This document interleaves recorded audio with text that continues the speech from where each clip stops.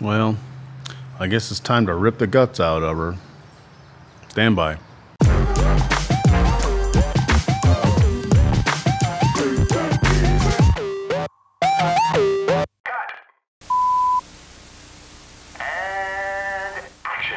Hey everybody, welcome back to the Rattlecan Fab Shop. I'm James, and today we are going to swap over my Lincoln Electric SP135 Plus MIG welder from solid core wire and uh, a 7525 argon CO2 shielding gas to flux core wire and it's a little bit of an involved process. We're going to swap the polarity out.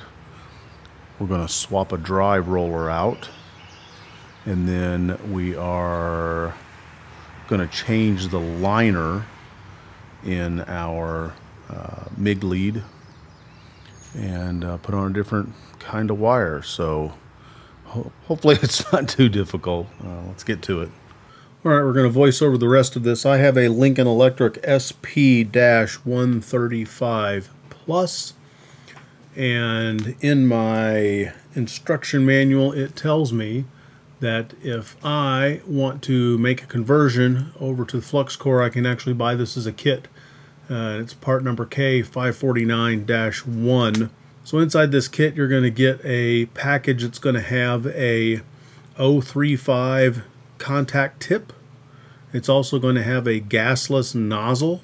We're going to get a new liner, which you are going to have to cut to length, not as scary as it sounds.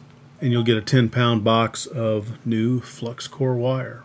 Now, for some reason, they say that the knurled drive roller is an option, and I don't, I don't understand that. It's uh, they're not giving this part away. I mean, this little wheel will run you like 32 or 35 bucks, something like that.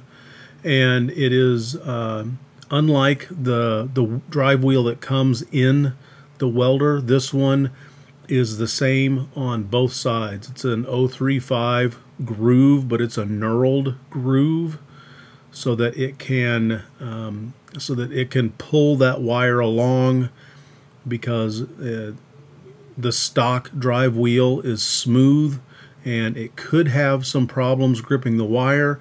If that's the case, you're probably going to crank down on it. And if you do that, you're going to bend this wire and you're going to have feed problems and all kinds of shenanigans could ensue.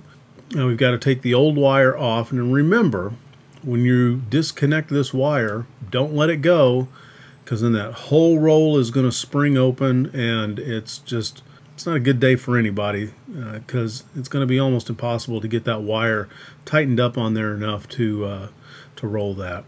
Now to take the old drive roller off, it's just a Phillips head. You, know, you pull that screw out, and that drive wheel that drive wheel has got a slot on it, so you can take the old one off, put the new one on. And here you can see the difference between the, the stock drive roller on the left, which will drive 024 and 030 solid core wire and the knurled drive roller on the right, um, which is an 035. This is probably uh, a pretty good time for you to do the scheduled maintenance on your welder, which you should be doing anyways. You can also blow up inside the, uh, the vents on the front and the back of your machine uh, to try to get that cleaned up. You're going to have to swap the polarity on this welder. Uh, that's easy to do. They're just wing nuts and uh, be sure to consult your manual and you just swap the leads from positive to negative. Now in order to disconnect your gun lead, you're going to have to disconnect these two wires. But just to be on the safe side, I'm going to use a paint pen and I'm going to mark on one of these connectors. Now I'm going to put a paint dot on my machine. That way I make sure I get it connected back up the way it goes.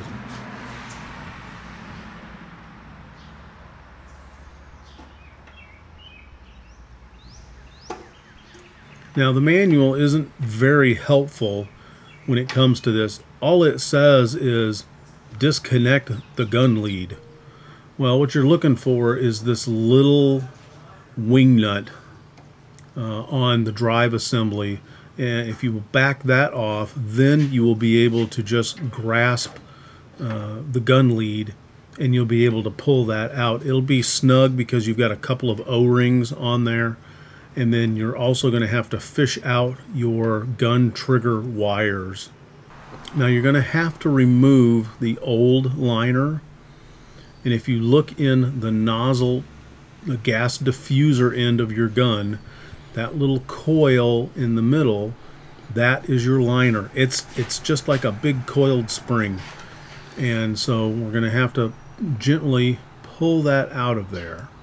And on the end of the gun that you've pulled out of the machine, this is a, good time for you to take a look at the two O-rings and be sure to inspect them if they've got any cracks uh, or if they look dry rotted. Uh, you know, it's probably a pretty good time to get a hold of a couple of those and replace them. And then there is a my manual says it is a slotted retention screw, but mine is actually uh, a little Allen screw.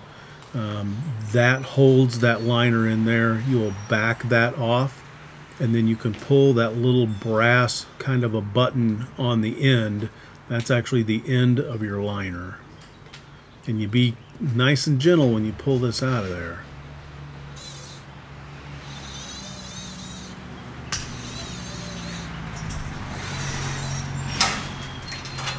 And be sure to label your old liner and store it away. You may want to swap this over at a future date.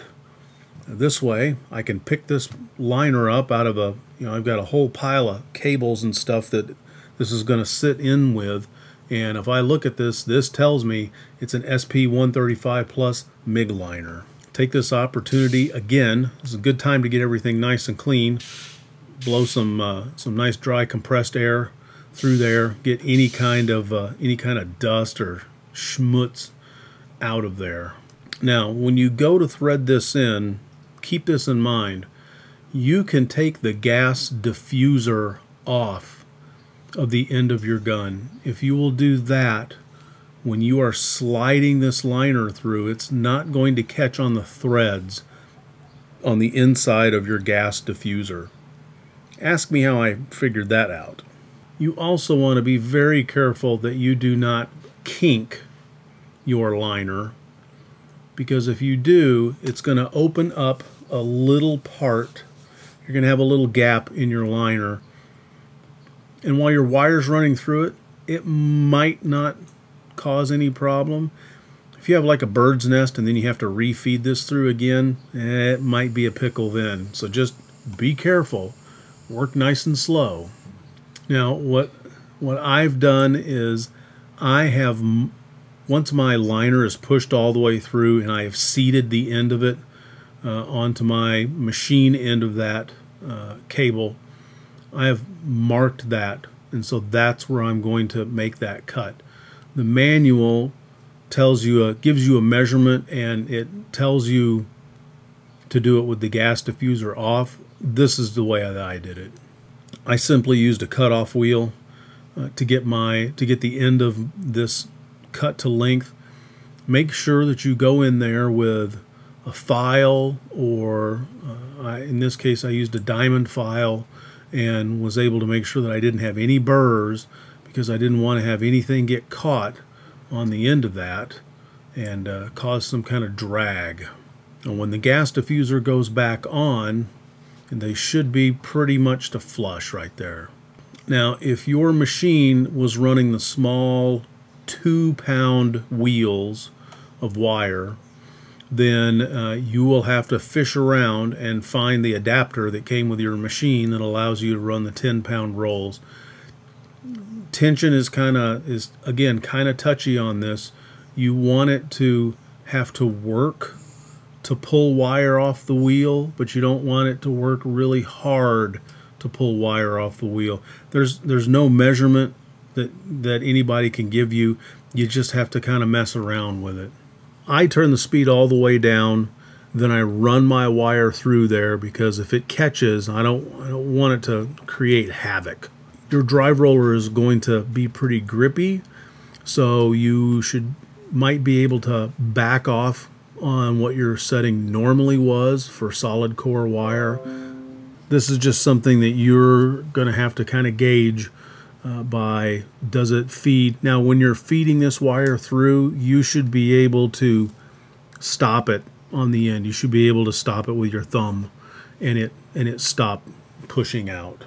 So now you put your contact tip back on, you put your gasless nozzle back on, you close your machine up, make sure that you don't have your shielding gas turned on at this time. Then you make some you make some test welds. So you can see from this there's like four or five beads that I've run on here and what I'm trying to do is I have to make sure that my settings are correct as far as my voltage and my wire feed speed. I also have to make sure that my travel speed is correct. I also have to make sure that my contact tip to work distance is correct. I also have to make sure that I'm dragging because if I make slag, you drag and I also have to make sure that my travel speed is good. So you can see, you know, all kinds of bug holes and kind of a junky looking weld in that first uh, weld. And then as the series goes down, I kind of start getting it figured out. All right, have we mastered flux core? No, not at all. Have we started to get this thing dialed in? Yeah, we're getting there. We got the machine set up. We got the machine running. Uh, we're within the parameters that the chart says we are supposed to be able to run. Um, you know, we're we started out really ugly, and now we're a little bit ugly there, and now we're getting less ugly down here. And so we just keep testing, and we keep, you know, modifying our our methods you know, I'm working on the drag angle, working on the work angle, working on the um, the tip to workpiece distance, working on travel speed, uh, working on all of those. Um, but now we've got a machine that will run um, uh, a little more efficiently as far as money wise, is much more portable, and will get us um, some uh, some more penetration, which we're going to need to weld up this square tubing here. So anyways, uh, that's how I did it. Uh, there's a lot smarter people out there, but this is the way we're doing it today. Thanks for hanging out with us. Remember, if I can do it, you can do it. Have a good one. Cheers. I hope you found this episode educational or entertaining, or maybe even both. You might want to check this one out as well. Be sure to hit the subscribe button hit the little bell to be notified when new videos drop. And if you got comments, make sure you put them down beneath the sermon notes. Thanks for hanging out with us here at the Rattlecan Fab Shop. Y'all have a good one. Cheers.